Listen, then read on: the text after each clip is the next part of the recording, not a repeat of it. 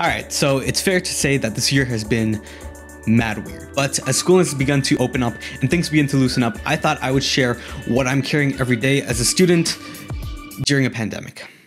Timestamps are going to be down below in the description. All right, so first of all, we got the workhorse, the 2015 13-inch MacBook Pro. Now, I know, I know, I know, the M1 machines are out and they're insanely, insanely good, but the 2015 laptops are still great options. It's still a completely capable machine just at a better price, but given that my workflow has kind of changed, I'll probably be upgrading to an M1 machine, so stay tuned for that. Next up is something that I recently picked up, and it's this Samsung SSD, specifically the T5. Now honestly, this has been a game changer for me and video editing, but obviously not everyone is a video editor, but an external SSD is still a great thing to buy. The amount of money that you'd have to pay to get one terabyte in your laptop is far more than just buying an external SSD. Plus, you can plug these into multiple devices, use them for different things. It's just super convenient. And next up is my phone, the iPhone X.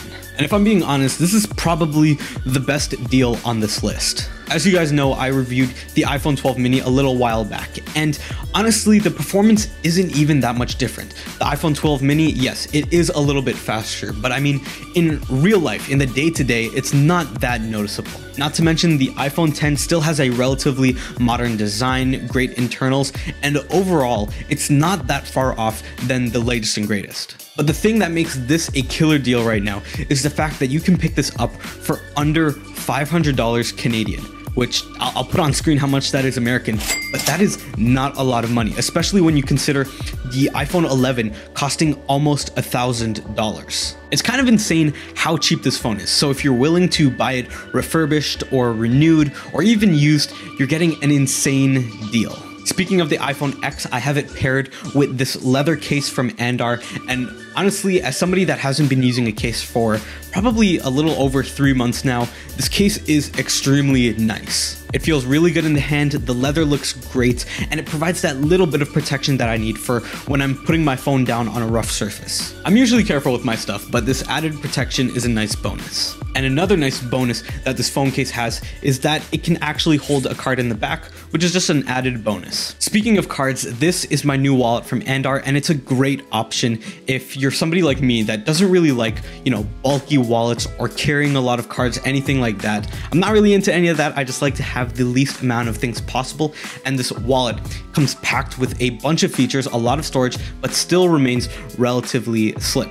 Honestly, a wallet is something that I don't want to have to think about. So the fact that this is sleek, but also comes packed with features just makes this a great option for me. Next up is the Apple Watch Series 3 and I have an entire review dedicated to talking about why this is a great budget option compared to the uh, new watches that are out so I'll make sure to have that linked down below. But along with this watch, I also have quite a few watch bands. All right, so the band that I wear 90% of the time is the stock uh, rubber one just because it's super convenient for when I'm working out or outside, anything like that. It really just takes things head on. As for the other watch bands, it really depends on the occasion, but I have this brown leather one that I think looks really nice.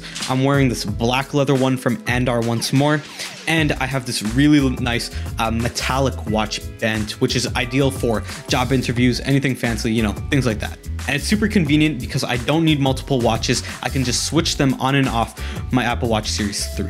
And finally, it would not be a COVID EDC without anything COVID related but I'm only in class for like two days out of the week. So I keep it pretty simple. I keep a bottle of hand sanitizer and a surgical mask because you gotta stay safe. But honestly, I want to know what you guys are carrying every day because this is something that's so interesting to me, especially with everything that's going on. And just like your own EDC could provide you a lot of value, if this video has provided you any value, it would really help my channel if you left a like and even subscribed if you want more videos just like this one. More videos are on the way, so hit the bell icon if you don't want to miss them.